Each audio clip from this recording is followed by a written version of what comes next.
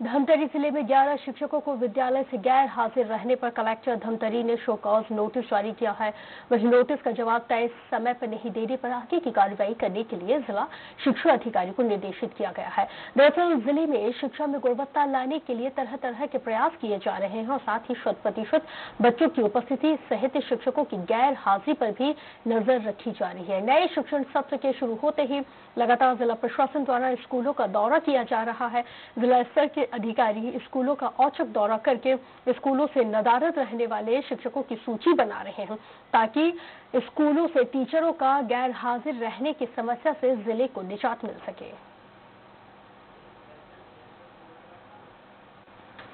हमारे द्वारा दौरा किया जा रहा है। साथ में ही सभी आला अधिकारियों को, जिला स्तर के अधिकारियों को, पंचायतें और सेक्टर्स प्रभार में दिए हैं। वो लोग भी दौरा कर रहे हैं।